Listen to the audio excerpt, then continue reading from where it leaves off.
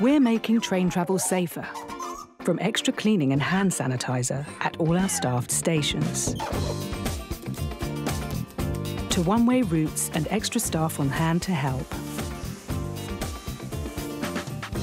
And everyone wearing face coverings in stations and on trains. Find out more about how we're keeping you safe when you travel. Greater Anglia.